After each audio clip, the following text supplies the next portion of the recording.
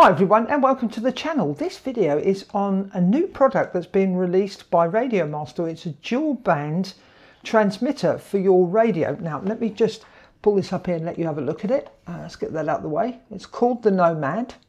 The benefits of this transmitter is it can transmit on both 2.4 gigahertz and 868 stroke 915 megahertz.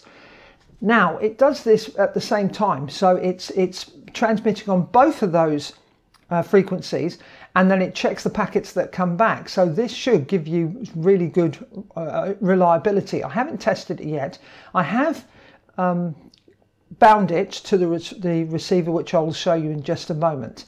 Now, this is a one watt up to a 1 watt transmitter that we've got in here. Well, two transmitters actually. With this system, we should get less packet loss due to interference. The receiver, which let me just pull this up here. You can take a look at it. You can see there's four antennas on it. That's obviously because you've got uh, one working for the 2.4 and one for the 915 or 868 frequency. As you can see on the back here, we've got a standard JR Bay uh, connector.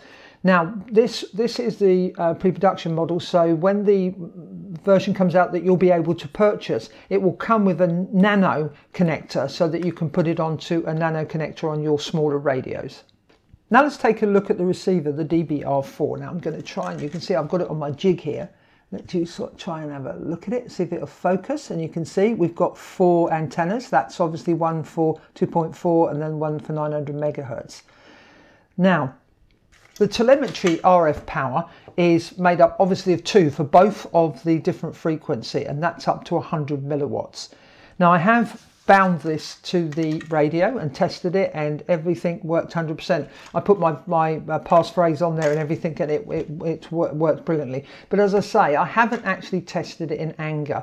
I still, all the time that I've been back in the UK, I've not managed to find somewhere to fly at the moment. Um, I've got a prospect of a place, a farmer that's going to allow me to go to their field and, and fly. So hopefully one day I'll get back to be able to actually test the equipment. But I have powered it up, I have linked it and bound it and everything, and it's I'll, I'll be quite, be quite exciting to tr to try this, to especially if you've got multipathing if you're flying drones and you're going through abandoned buildings or whatever, it would be really interesting to test it out and see how it does.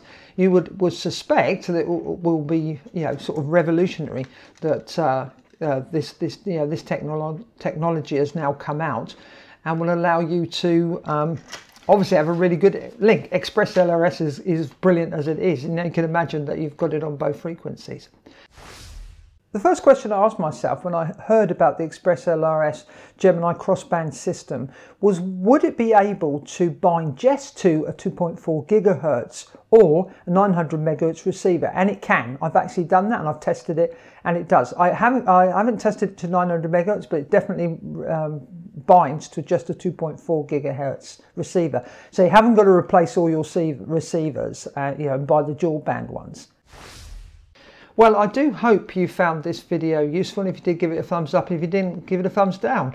And please leave any comments in the comment section. If you want to know something about it that I haven't discussed, I don't go into the minute technology, um, the technical details of these things because that will all be available on RadioMaster's website. And they did uh, supply this system for me to review and um, I appreciate it because it's uh, it looks really really interesting. Thanks for watching. Happy flying. Bye for now.